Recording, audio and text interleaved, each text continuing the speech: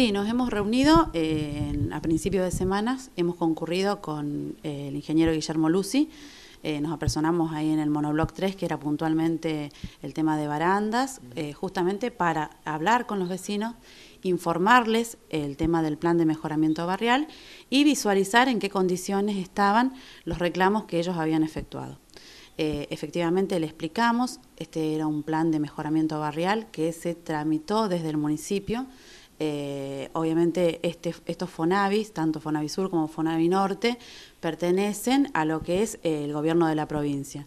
Nosotros hemos trabajado en la conformación de estos consorcios para poder lograr este plan de mejoramiento barrial, justamente dándoles la entidad y la fuerza para que ellos puedan presentarse y hacer los reclamos correspondientes ante la provincia.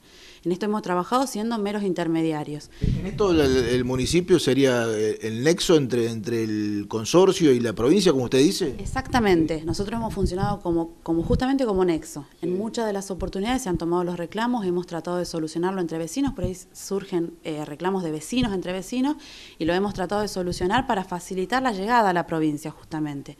Se ha trabajado también en el plan eh, para lograr la escrituración. Muchos de esos departamentos eh, no tienen la escritura original, más allá de los años que hace que pueden llegar a vivir las personas ahí. Se ha trabajado en un plan y se está trabajando para regularizar las situaciones de todas esas personas. Quiero también el tema del plan de mejoramiento barrial explicar un poco de qué es lo que se trata. Es un plan que justamente lo que tiene por fin es embellecer los FONAVI, eh, arreglarlos en toda la parte edilicia, que todos podemos verlo con solo cruzar por los barrios y ver la situación en la que estaban y en la que están ahora.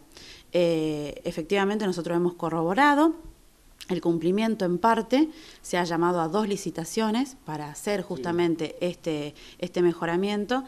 El dinero que ha llegado de la provincia fueron 247 mil pesos más o menos. ¿De qué total?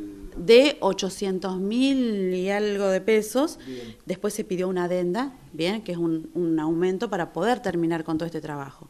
De ese dinero solamente llegaron 247 mil, como le dije antes, y eh, alrededor de 600 mil pesos fue lo que tuvo que poner la provincia, eh, perdón, el municipio para poder terminar con estos trabajos, para poder culminar. Si no, con ese dinero, lamentablemente no podríamos haber hecho nada.